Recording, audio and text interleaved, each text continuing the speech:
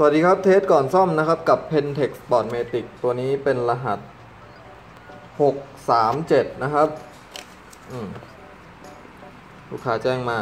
637 Sportmatic SPF กระจกสะท้อนภาพค้าง ทีนี้ลูกค้าส่งตัวเลนกับ กับฝาเลนมาด้วยนะครับ แต่เท่าที่ผมดูเนี่ยตัวเลนค่อนข้างจะใสดี เช็คเบื้องต้นนะมมีรอยตรงนี้นิดหน่อย ไม่แน่ใจว่าเป็นรอยอะไรนะครับ อืม แต่เท่าที่ดูเนี่ย มันค่อนข้างจะใสนะ เช็คเบื้องต้นดูค่อนข้างจะใสเลย อืม เดี๋ยวจะถามลูกค้าอีกทีว่าจะล้างไหม แต่ แต่ถ้าปกติแล้วถ้าลูกค้าจะส่งกล้องมาซ่อมเนี่ย ถ้าไม่ไม่ได้ล้างเลนด้วยเนี่ย ผมแนะนำว่าส่งแต่กล้องมาเนาะ อะ ต่อกันที่ตัวกล้องนะครับ ตัวกล้องเนี่ย เดี๋ยวจะ test ให้ดู ตัวกล้อง speed 1,000นะ test ที่ speed พัน test ที่ speed พันก็ดูปกติดีนะครับ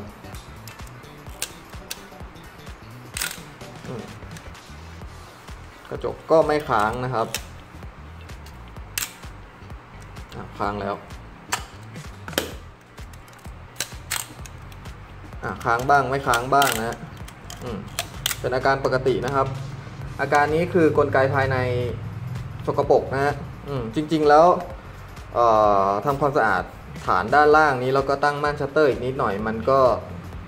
ใช้ได้ในใช้ได้ประมาณหนึ่งนะ ผมไม่แน่ใจว่านานเท่าไหร่แต่ใช้ได้สักพักหนึ่งอะแหละแต่ทางที่ดีควรจะล้างทำความสะอาดไปทั้งหมดเลยนะครับอของผมที่จัดการเนี่ยคือผมจะล้างทำความสะอาดภายในไปทั้งหมด แล้วก็จะทำความสะอาดพวกห้องกระจกให้ด้วย ห้องกระจกมันจะมีฝุ่นด้านในนะครับ เหมือนที่ผมเคยถอดให้ดูบ่อยๆนะ พวก Spotmatic เนี่ย หรือตระกูล Pentax K พัน Spotmatic อะไรเนี่ย ฟองน้ำในในตัวปริซึมเนี่ยค่อนข้างจะเยอะในชั้นชั้น focus screen เนี่ยค่อนข้างจะเยอะควรจะเอาออกนะครับ แล้วก็เดี๋ยวจะทำความสะอาดพวกกลไกในส่วนของชัตเตอร์ให้มีด้านบนนี้ด้านล่างก็คือจะถอดทั้งความสะอาด แล้วก็ใส่จระบีใหม่ไปทั้งหมดนะครับผมจะไม่ทำแค่ด้านล่างแล้วก็ตั้งม่านนะเพราะว่ามันใช้ได้แป๊บหนึ่งอะไรผมผมก็เลยไม่ค่อยอยากทำวิธีนั้นนะแล้วก็ไม่ได้ไม่ค่อยได้ตั้งม่านมานานแล้วในกรณีที่ไม่ได้เปลี่ยนม่านเนี่ยหรือ หรือล้างแล้ว speed ชัตเตอร์มันไม่ปกติเนี่ยถึงผมถึงจะตั้งม่านนะครับ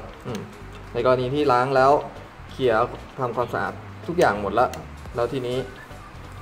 ถ้าตัวม่านมันทำงานตามปกติ speed พันเปิดตามปกติ ผมก็จะไม่ตั้งม่านนะครับ ตั้งม่านจะเป็นวิธีท้ายๆเลยนะสำหรับทางร้านผมนะ โอเค เดี๋ยวไปชมภายในกัน แล้วตอนนี้ก็อยู่ภายในของเจ้า Pentex Sportmatic นะครับ 637 นะ สาเหตุที่ผมถอดออกมาเนี่ย เพราะว่า อืม นี่นะครับเนี่ยมันเห็นไหมมันจะมีพวกฟองน้ำพวกเนี้ยคือถ้าไม่ถอดมันก็จะอยู่อย่างนี้นะ แล้วก็เป็นฝุ่นต่อไปเรื่อยๆ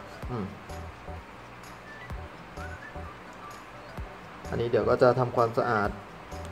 ภายในไปให้นะครับ อ่าทีนี้มาดูห้องกระจก ตัวห้องกระจกนะมันก็จะมี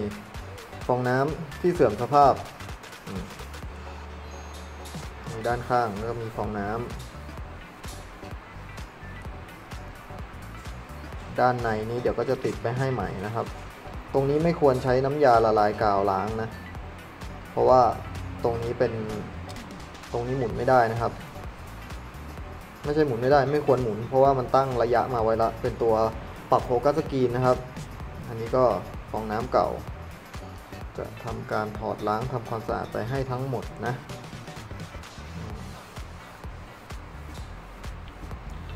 ทีนี้มาดูตัวปริซึมนี่นะครับสาเหตุที่มันควรถอดออกมา อันนี้คือตัวปริซึมนะนะ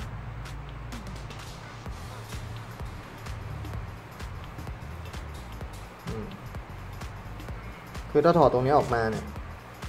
มันก็จะเป็นชิ้นโฟกัสสกรีนนะครับ ตอนนี้ตัวปีซึมเนี่ย ตัวตัวปีซึมมีเสื่อมนะ แต่ถ้าใส่เลนแล้วมองมองผ่านวิวไฟเดอร์เนี่ย มันก็จะไม่ค่อยเห็นนะครับ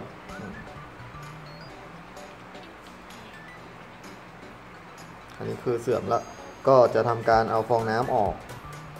แล้วก็ในส่วนของปีซึมนี้ผมไม่ได้ใส่ไปให้นะครับ เพราะว่ามันจะมีตัวกดของมันอยู่แล้ว อันนี้มันติดนะครับ ดึงไม่ออกเลย กาวเก่ามันละลายนะ โอเค เดี๋ยวยังไงไปชมตอนล้างเสร็จนะครับ